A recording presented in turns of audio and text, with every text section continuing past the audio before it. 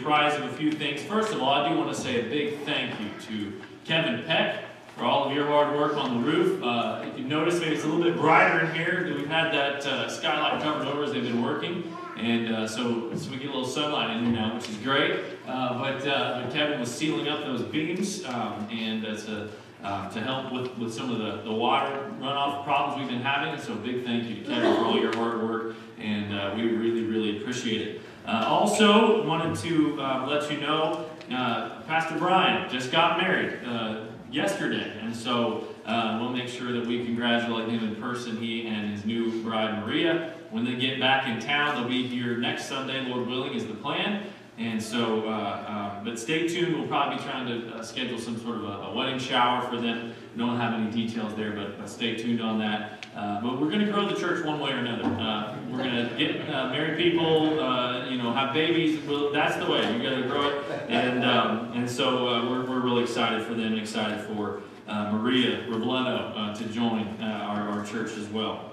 Um, also, November 2nd will be the, the, the chili, the soup feed, the bake auction at uh, the school, and it starts at 4 p.m. The auction starts at 6. The, the, the eating is at 4, and the auction starts at 6.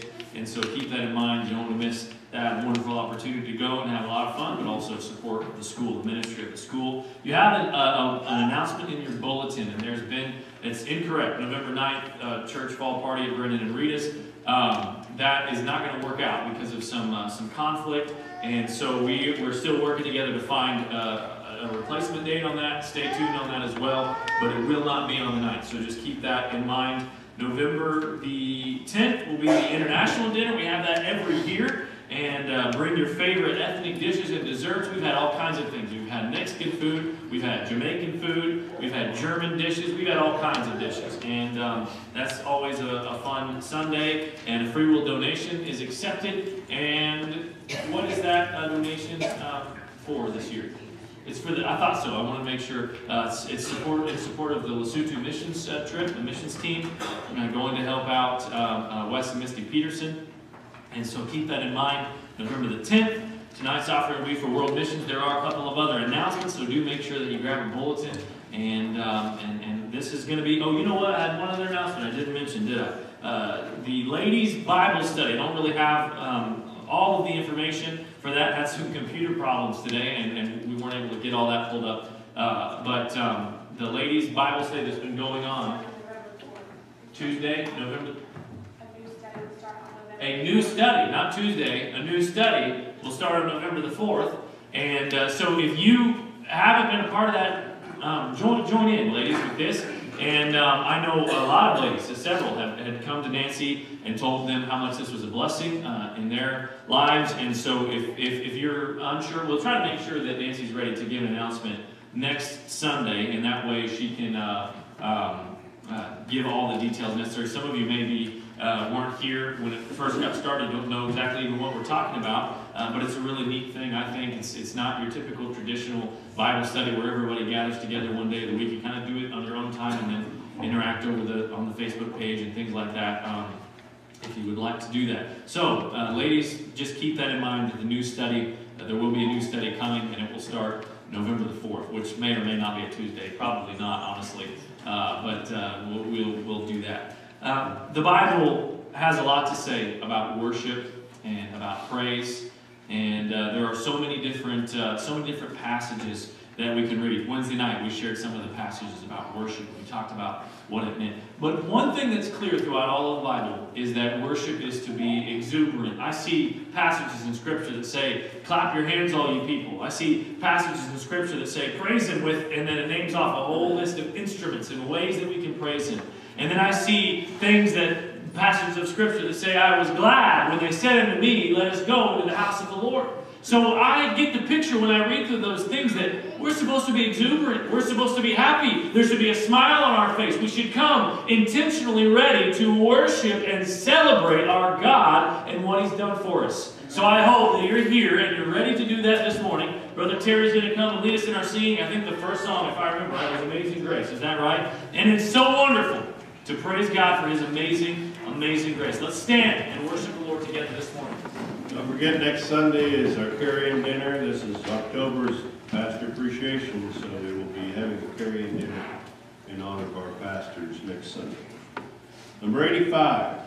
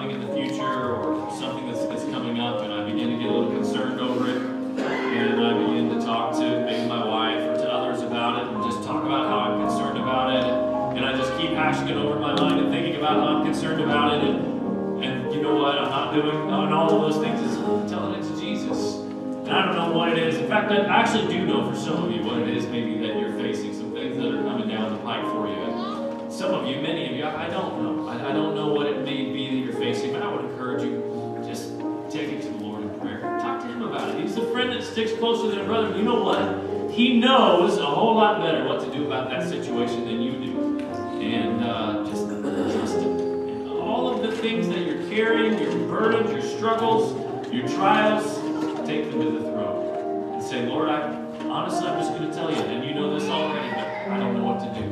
And I'm concerned. I don't know what we're going to do in this situation. I need your wisdom. I need your grace. And, and, and, and maybe you're just to the point where all you can do is just unload and unburden. And God understands that. And I think He wants you to do that too. Would you stand with me this morning as we go to the Lord in prayer? And I want us to just focus on those things to Him today. Heavenly Father, we thank you today for your blessings, for your goodness to us. We thank you that you truly are uh, a friend that sticks closer than a brother. Lord, that you have abundant wisdom and direction and guidance for us. Lord, we pray that you would forgive us for the times where we get so focused on our earthly troubles and on the problems that that, that we face, Lord, that we all our focus is on what's going on instead of on the God who can take care of what's going on.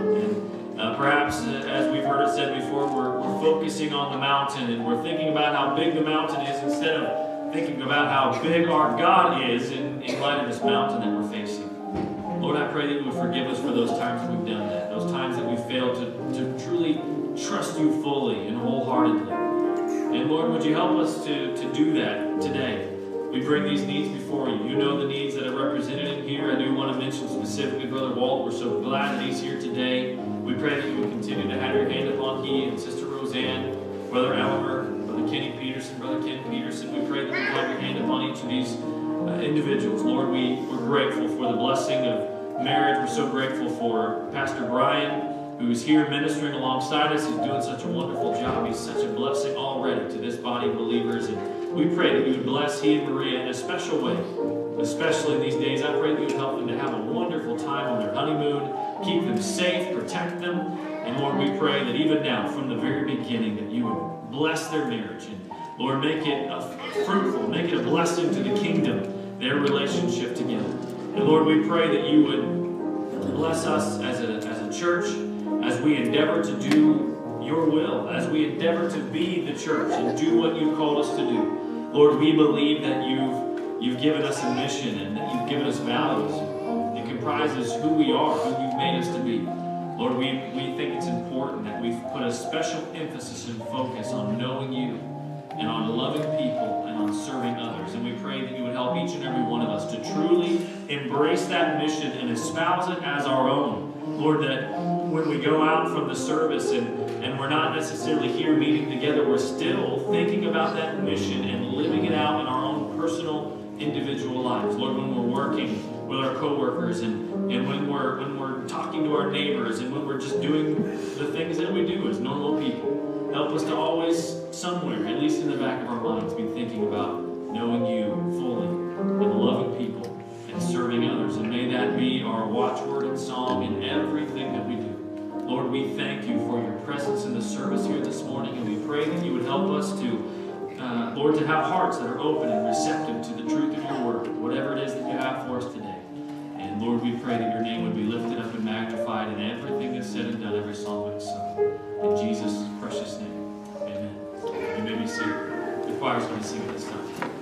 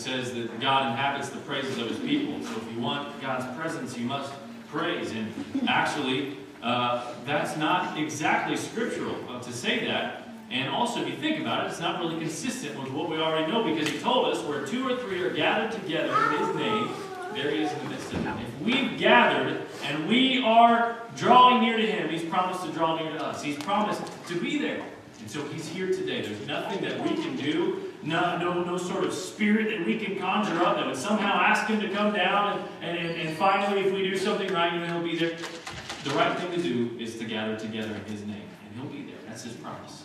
And I'm thankful for the peace that comes from his presence. It's not just in these services, his presence that continues with us as he helps us and guides us and gives us leadership, helps us to know what to do in difficult uh, scenarios when perhaps we don't have all the answers. I'm grateful for his abiding presence. We're going to continue our worship this morning through our giving. And uh, let's, uh, let's worship as we give and, uh, and uh, make that a part of, of, of, our worship this morning. Jeremy, would you ask the Lord's blessing on the offering this morning? Heavenly Father, we thank you for the presence that we've already felt this morning. We thank you for a day where we can come into your house and worship you. And we ask that as we give this offering back to you, that it brings glory and honor to your name and further your kingdom. We'll give you all the praise and glory. Name we pray. Amen. in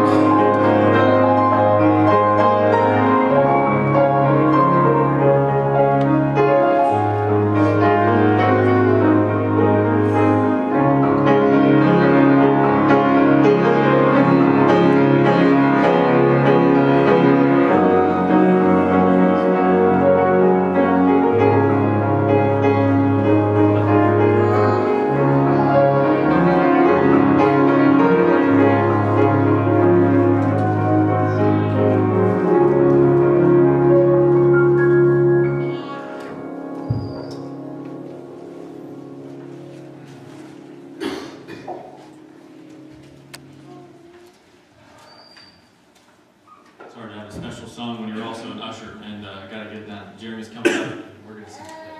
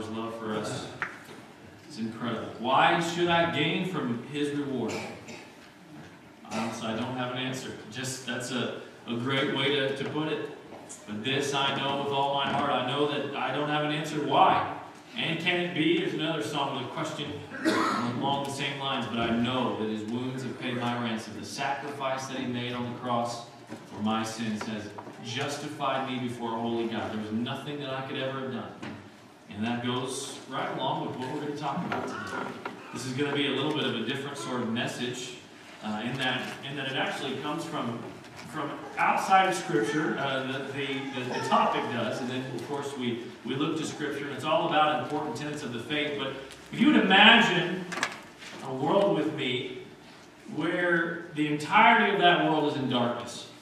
Disease is rampant. There's not much in the way of medical knowledge. In fact, the vast majority of society is completely illiterate, knows little to nothing about life outside of their own little circle, wherever it is that they're at, their immediate context. Everything and everyone is controlled by selfish, wicked, power hungry men who do everything that they can to keep the, the people in darkness, keep them under their thumb in oppression, so that they can continue to line their pockets and continue to maintain control. And those wicked men are the representatives of what constitutes the church in that dark world. That was what the church was. The depressing picture that we just painted is not fictional, unfortunately. It's a picture of what the world looked like in the 16th century. The history books call it the Dark Ages. And it's a picture of what very well could have been our world today, were it not for a man that was willing to listen to the voice of God and take a stand for truth in those dark times. We don't always follow the church calendar, but at the end of this month, Protestant churches around the world will celebrate what is called Reformation Sunday. And the purpose is to remember what happened during the Protestant Reformation, which really started happening in the year 1517. We talked about uh, the Protestant Reformation a couple of years ago, but maybe you've never even heard of the Protestant Reformation. I, I don't know. And maybe even if you have, you might be sitting there thinking, how in the world does something that happened in 1517, over, over 500 years ago, have anything whatsoever to do with my life today? Well, that's a fair question. How do, what does it have to do with your life? Well, the world was in a very different place 500 years ago. We've already talked about the, the darkness and how horrible the times were. People were uneducated. The church leaders of the day had almost unlimited power. And to top it all off, the people had very little access to, to the Word of God. And uh, how many of you own a copy of God's Word? How, how many of you? Good. I think everybody. If you don't, come see me and I'll, I'll make sure we change that. But uh, how many of you own more than one copy of God's Word? Yeah. How many of you are like me and you, know, you aren't even sure how many of, of copies of God's Word that you actually own? Yeah, most all of us. And um, we take for granted, I think, sometimes that we have a Bible in our own language that we can read whenever we want to. But the common people of this day, the day that we're talking about, they didn't have, they had little access to the scriptures. And, and they didn't have the money to buy expensive books. Books were expensive. They were all copied by hand. And, and, and, and even if they had been able to purchase one, they couldn't read anyway. And even if they could read, or if someone were to read it to them, they, they couldn't understand what was being read because it wasn't written in their own language. It was written in Latin. It was hopeless. The people who lived in that time period hardly had a spiritual chance. And the reason that all of that matters to us today is primarily because of the foundational truths that came about in the Protestant Reformation, but also because if the changes that the Protestant Reformation brought about had not occurred those 500 years ago, over 500 years ago, there's a good chance that we possibly could be living the same miserable lives that the people of that day were living. We could, we could know nothing of the grace of God. We might have little to no understanding of the gospel of Jesus Christ, and we would probably be living with the same ignorance and poverty as the common people all those years ago. So, at this time of the year, as we near the anniversary of the Protestant Reformation, we remember the life of a man named Martin Luther. But most importantly, we affirm the doctrinal truths that became the cause of the Protestant Reformation. In the middle of all the hopelessness and the darkness of what is of the dark ages aptly named, God raised up a man by the name of Martin Luther who would give the hearts and the minds of these miserable people hope, who would expose them to the truth and show them the Bible plan of salvation by grace through faith in the Lord Jesus Christ. Martin Luther was an ordinary man, a man who, in fact, we wouldn't even agree with on everything that he believed, uh, not by a long shot. But he had a heart after God, and he had a passion to know Christ and to make him known to others, to the world around him. And God used him in a mighty way to turn the world around for Christ and to usher in a great revival of true biblical Christianity. Were it not for men such as Martin Luther that through the years have been willing to stand on principles for what they know is right, regardless of personal danger, regardless of whether or not it was a losing battle, regardless uh, of whether or not they had to fight all alone, who knows where we as the church would be today. But what really makes the message of a man like Martin Luther so great today is that the doctrinal issues that he stood for over 500 years ago, they're still the keystones of our faith and our practice. In a day when the church held absolute authority, Martin Luther proclaimed, It's not what the church dictates. It's not what the priest can do for me. It's not even what I can do for myself. It is faith alone, grace alone, Scripture alone, Christ alone, for the glory of God alone. Those five tenets are part of what is known as Martin Luther's 95 Theses, which he nailed to the door of the Castle Church in Wittenberg, Germany. I've been there. I've seen those doors. I've stood in front of that church. And if I had a picture, I would have put it up there. Um, and uh, unfortunately, um, I don't have the pictures of it, of that trip. But we're going, he, he, he, nailed these theses and he, and, and he started what's known as the Protestant Reformation. We're going to look at, at these tenets today and, and next Sunday, which is known as Reformation Sunday. But Scripture alone, that's the first one we're going to talk about. And 2 Timothy 3.16 tells us, all Scripture, we have several texts today, is breathed out by God and profitable for teaching, for reproof, for correction, and for training in righteousness. Luther began to preach that the only authority in debates about church doctrine, about theology, the only authority was the Bible. He said that the Pope wasn't the authority, and neither was church tradition. And as you can imagine, the stand that Martin Luther was taking in the world of his time, especially on this issue, drew the indignation of church leadership. He was summoned to answer for the things he was teaching, and the leadership demanded that he renounce his teachings. But with courage, Luther looked right in the eyes of the powerful cardinal, who was demanding that he renounce this heresy. And he refused to renounce his teaching of salvation by grace through faith unless it could be proven that he was wrong through the scriptures. He said that he would not take the Pope's word as the final authority. The Bible was the final authority. Amen. Only let my errors be proven by Scripture, and I will revoke my word and throw my books into the fire. That's what he said.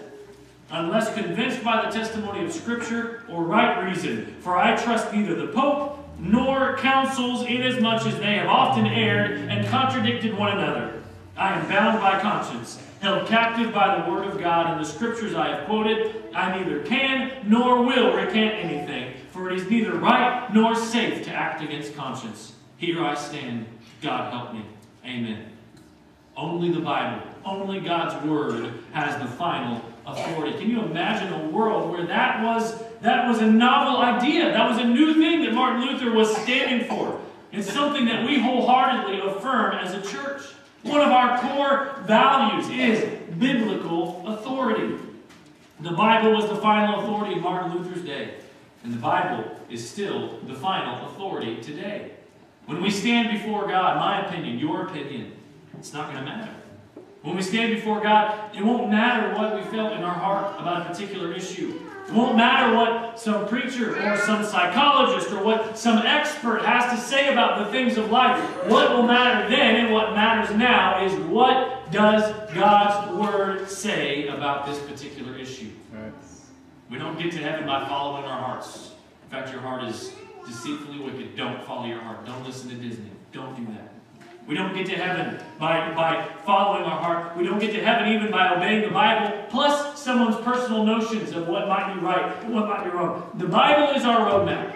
The Bible is what we follow, not some person's ideas, not the ideas of a, of a popular preacher, not the ideas of a good Christian writer, not even the ideas and notions of a, of a, of a saint, a, a person of God that we deeply respect. That's not how we get to heaven. The Word of God is what gives us direction, is what gives us stability. And it's the Word of God alone that can give us direction and stability. It's the Word of God alone that is a foundation for our lives. God's Word is the authoritative standard of truth. There is no other authoritative standard. The hymnist wrote, My heart is leaning on the Word, the written Word of God. Salvation by my Savior's name, salvation through His blood. I need no other argument. I need no other plea. It is enough that Jesus died and that He died for me. And you find that right here in that truth and the reality of that in God's Word. The question is are we spending the time in the Word that we should be? Do we know the Bible like we ought to know it? We, we have numerous copies of the Bible. Many of you raise your hand. You're not even sure how many copies of the Bible that you have, same as me. But how often? We so often take it for granted. We forget. Maybe some never knew that men have paid a great price to get the Bible in our language, in our hands. Some paid the ultimate price, they gave their lives. We take this book for granted far too often. We need to love this book. We need to read this book, study this book. We need to know this book. It is the authoritative Word of God to us. And great men such as Martin Luther gave their lives to the cause of spreading its truth. We believe in the authority of Scripture alone. Another of the five tenets of the Protestant Reformation is for the glory of God alone. 1 Corinthians 10.31, whether therefore ye eat or drink or whatsoever you do, do all to the glory of God. It's simple. Everything you do ought to bring God glory. Most of us could quote that in our sleep. It has almost maybe even become a cliche for many in the church. Everything you do is supposed to bring God glory. We, get that. But how do you know if something you do is, is bringing God glory? How do you know? How can you make sure that, that you're eating to God's glory? How do you make sure that you're, you're, you're doing some sort of mundane, seemingly unnecessary task to, to, to God's glory? It's, it's a matter of how you live your life and, and your mindset. Rick Warren says, anything that causes you to love God more brings glory to God. Anything you do that causes you to trust God more brings glory to God. Anything you do that causes you to obey God, to love God, to serve God, anything that causes you to want to brag on God and tell unbelievers, look what He did for me, that brings glory to God. Make sure everything you do, down to the most mundane task, is wrapped up in a mindset of, of glory, bringing glory and honor to God. Another tenet is faith alone. Ephesians 2.8 tells us, For by grace you've been saved through faith. And this is not your own doing, it's the gift of God. Martin Luther's spiritual journey was, it was an interesting one. As a young monk, Martin Luther, he lived in, in constant despair about his spiritual condition. He wanted to know for sure that, that he was at peace with God, uh, that he was ready to face God in the judgment, but he just couldn't get over the feeling feeling like, like he had to do something to earn his salvation. He just didn't feel worthy, and he lived in constant fear of the wrath of God in his life. He went to extreme measures to try to please God. He tried things like long, sleepless nights, spent agonizing over his spiritual condition. He would deny himself food, he would beat himself with a scourge until he would bleed. One writer said that if you saw Martin Luther in those days, you would have seen a young man that had fasted so many meals he had wasted away until you could count nearly every bone in his body. His eyes were sunken in. He carried himself dejectedly. His face was marked by lines of, of inward anxiety. His whole appearance was always grave and solemn. And all of this it was because he desperately wanted to please God, and yet he didn't know how. And so he tortured himself and he put himself through all of these horrible things. He was in so much turmoil and he mistreated his body so badly that he almost killed himself over. But one day, Martin Luther was serving as a professor at the University of Wittenberg, Germany, and he was studying his Bible.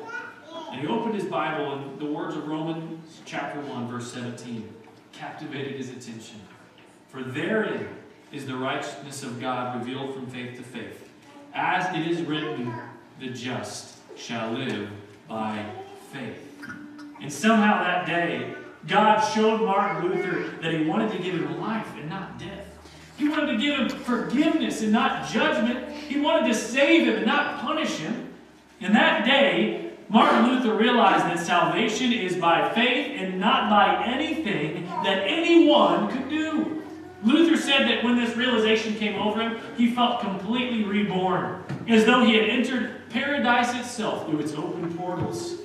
And Martin Luther began to preach the liberating message that salvation doesn't come through punishing your body. It doesn't come through performing good deeds. It doesn't come through having faith in God's grace uh, I'm sorry, it does. It doesn't come through good deeds. What it comes through is having faith in God's grace to forgive sins and to cleanse those sins from our hearts. We've heard that message so often and we've heard that truth preached so much that it's, I'm afraid that it's become humdrum and commonplace to us. But for these people, imagine if you were in this world with these people who had been bound by the cold, heavy chains of dry, meaningless rituals for these people that had no hope and no real understanding of who God is or what He's like. This was good news. This changed everything.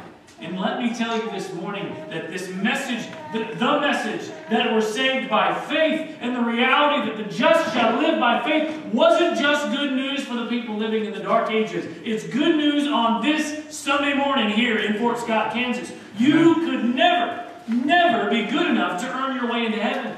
In fact, the Bible tells us that all of the good things we do, our righteousness, it's like garbage. It's worthless. You could never do enough good things to, to build a stairway somehow to where God is. You can never deliver yourself from the chains of sin. But you don't have to. You're not saved by grace through your good works. You're not saved by grace through the things that you do. You're, you're not saved by grace through the money that you put in the offering plate. You're not saved by grace through your good conservative Christian standards, the way that you live your life. You're saved by grace through faith alone. Amen. Faith in Jesus Christ is the only condition of salvation. A right relationship with God and all the blessings of heaven. It means that at the moment a person possesses true faith in Jesus Christ, that person is saved, regardless of whether, uh, whether they have the presence of other Christian fruit in their lives. We'll close out today with, with one more of the five tenets of the Protestant Reformation. We're saved by grace through faith, grace alone. Martin Luther came to understand that the just shall live by faith. And it was sometime shortly after this that Pope Leo X decided that he wanted to build a new cathedral, a new beautiful church building in what is now St. Peter's Basilica in Rome. So Leo devised a scheme to raise the money for this elaborate cathedral that he wanted to build. It was a man named Johann Tetzel. He was commissioned to sell indulgences from the Roman Catholic Church. In, in a nutshell, an indulgence was a piece of paper that people could buy that gave them complete forgiveness for sin. You could buy one for yourself. You could buy one so that the sins of your dead mother or grandfather or uncle or whoever could be forgiven and they could escape purgatory. And uh, one of the little jingles that Tetzel used to sell his indulgences, I'm not sure what the tune of it was, but he, the words were, When a coin in a coffer rings, a soul from purgatory springs. And they would do this jingle, and he began a campaign, and people would begin to give. And this is how they were raising money to build this ornate, elaborate cathedral. Just imagine that we had a table set up in the foyer of the church, and and uh, maybe we were having a big, a big new building project. That'd be exciting. That'd be great. But That's not how we're going to raise our funds. But imagine that it was. And, and if you did something wrong, you could just walk up to the table, you could buy a piece of paper, sign your name on it, walk away knowing that your sin is forgiven. And all is good and, and I'm right. And That's basically the idea of an indulgence, except for those people would walk away, and the reality is there, there still wouldn't be that peace. They would think, they would be deceived, they would think they're doing that, but there was that missing piece. And Tetzel would roll into town, he would make his speech, and the people would line up to buy these pieces of paper, thinking that they were buying their spiritual freedom, or buying spiritual freedom for their dead loved ones. We who know so much today in, in the fact that we have God's Word in our language and we've grown up hearing it taught and reading it, we think that sounds kind of crazy. We would never buy into something like that. But these people had been in such darkness that they had no way of knowing anything different. The, God's Word wasn't even in their language. They didn't know any different than what the church told them to believe. And they blindly followed their religious leaders. And the sale of these indulgences is really the catalyst, actually, that prompted Martin Luther to write his 95 protest points against the sale of indulgences. And the protest has gone down in history as the 95 Theses.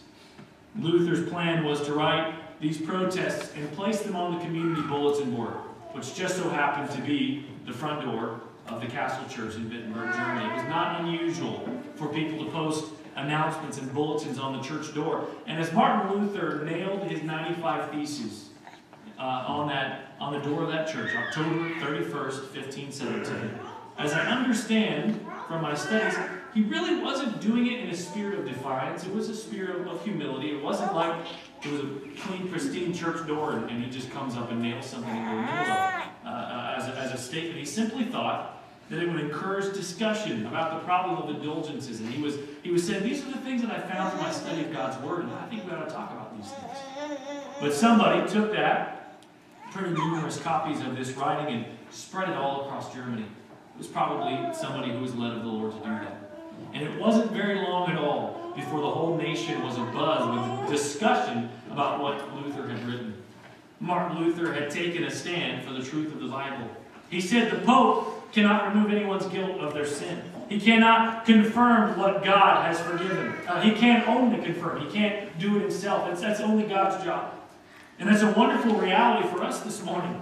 We don't have to buy indulgence from somebody to be forgiven of our sins. We don't have to go before some earthly priest or anybody down here on earth and confess our sins and wait for him to say, I absolve you of your sins. We don't have to wait for that. We're saved. We're not saved through confession to a priest. We're saved by the grace of God. And we don't need an earthly priest to, to approach God on our behalf. No. We've been invited to approach the great high priest for ourselves. And, and, he will take our prayers to God the Father on our behalf.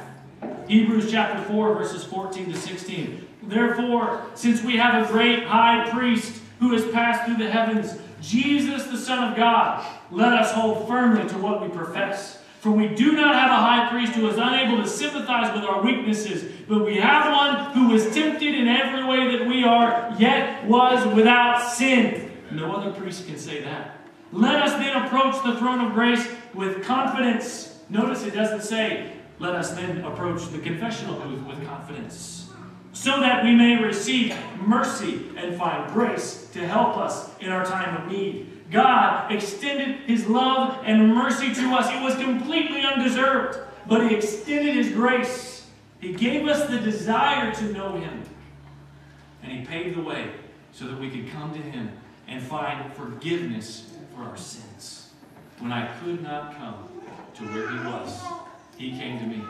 Thank God for his grace. Thank God for the truth, these tenets that we've looked at today. Thank God for giving us his word, this love letter to us. That's so much more than just a trite thing we say. A loving God knew what it would take for us to be justified before him as a holy God and make our way into heaven, and he lovingly directed men to pen down these words for us so that we can follow this roadmap and make it.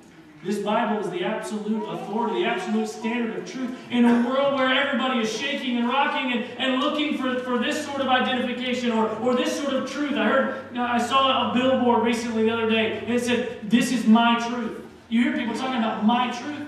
Truth is truth. If we all have our own truth, then there's nothing to stand on. And I'm here to tell you in a floundering world that there is an absolute standard of truth that we can stand on. But we must actually stand on it. We must actually endeavor to build our lives on obedience and careful following of God's word to us. And it's through God's word that we find out all of these other things that we've talked about today. That salvation is by faith alone, by grace alone only. It's only by God's grace, it's only through faith in His finished work on the cross that we're able to have salvation, that we can stand before a holy God one day and hear, Well done, thou good and faithful servant. Enter thou into the joys of the Lord. Thank you for your attention today. I'm so grateful for God's grace and mercy in these truths. We're going to talk about one more truth, a powerful truth, next Sunday. Uh, and uh, we'll see you next Sunday.